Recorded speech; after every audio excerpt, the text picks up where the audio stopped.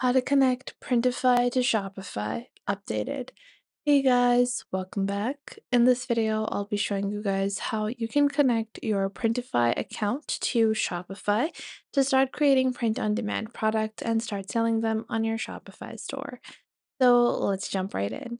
Now, the first step to be able to connect both of your accounts is to have accounts on both platforms. So I am going to go on ahead and log into my account on Printify, and we're just going to go into our account over here.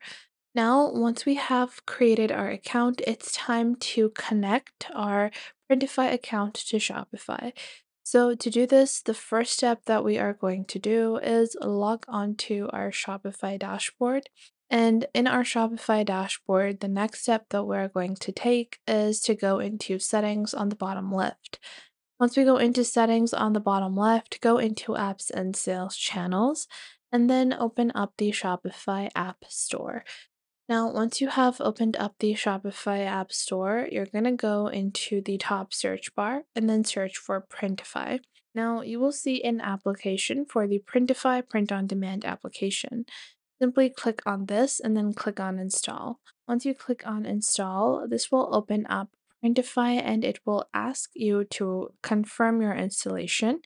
So you're going to click on install once more to actually install the Printify application into Shopify. Now you can pin this to your navigation on the left on Shopify. Now, once you have completed this, it's time to log into your account of Printify.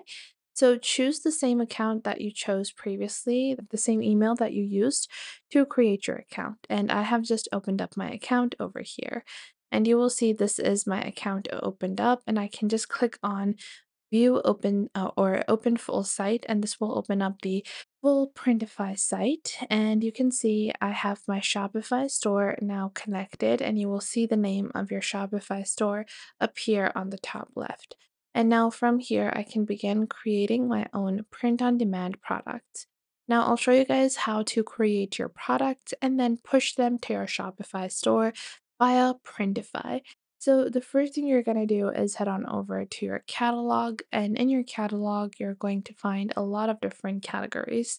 You can create a bunch of different types of products on Printify anywhere from men's, women's or kids clothing to phone accessories and home and living items. So let's say that I want to create a phone case. So I can go into phone case over here and this will show you different types of phone cases that are available. Some might be, you know, made of silicone, some might be made of a plastic material, some might be hard cases. So there are a lot of variabilities. And with Printify, you will see on the left, you have target areas. And target areas are going to be where you primarily want to sell your products in. So, choosing a target area can help in better estimating your delivery fees for your particular customers. So, if I was to show you guys things such as even t shirts, even t shirts have multiple different listings, although they're all just white t shirts. Some of them have different materials. Some of them have different printing options. Some of them have all over print. Well, on some of them, you can only design, you know, on the front half or the back half. Then you also have differences in material as well as differences in necklines. So you have a lot of options to pick out from when it comes to the type of or the specific of your product. So let's say I want to go with this v-neck a soft style t-shirt. So I will click on this t-shirt over here and below that, you will see a provider. You will see that even uh, the same item has multiple different providers, even for the USA. Then I also have different providers outside of the US, including Canada, Australia, and other countries as well. So I can choose a provider that is going to be the closest to my destination nation. So wherever I'm going to be marketing or trying to sell my product, I want to choose a provider close to that. So I am going to choose Monster Digital and I will click on Start Designing over here. Once I click on Start Designing, I can proceed with the design of my product. So the first thing you will see is that you will see a front side. Below that, you have a panel for the back side design and you also have the inner neck label. So I am going to go ahead and click on Upload and I will upload an image from my device. And this is the image that I want to use, so I will just upload my file over here. You can create your designs even with AI image generators on Printify. You also have text, your library, graphics, Shutterstock to design a interesting and creative t-shirt or any item that you are designing. So we're just going to wait for our upload to be completed to proceed with our design.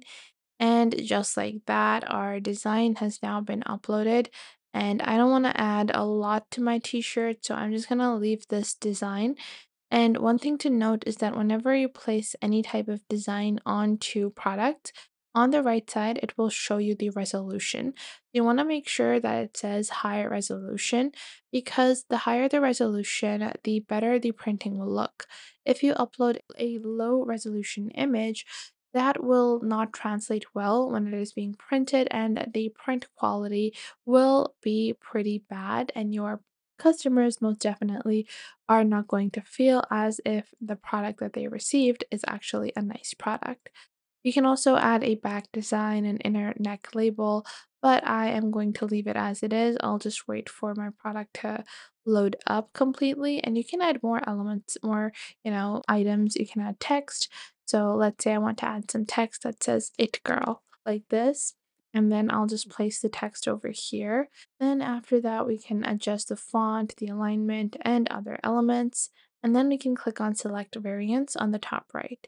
So for my variants, I am going to select the variant. I only want it in a white color and I want this to be small, medium, large. I don't want to offer larger sizes. And I want it to be in maybe a sand color in small, medium, and large, and then a natural color in small, medium, and large, and maybe a dark heather as well. Once I've done choosing the variants that I want to provide for my product, I can click on Save Product on the bottom right and just like that, this will show me how my product is going to look like, the different images and the mockup as well. I'm going to be using a mockup as my primary image, and I will be using the color sand in the primary image. Then I can scroll down and start naming my product the way I want it to appear on Shopify. So this is going to be my It Girl tee. And then you can customize the description, tags, and shipping methods as well. And you can add the pricing. So over here, we are going to see our retail price. By default, it is going to add a basic price, but I will add a higher marked price.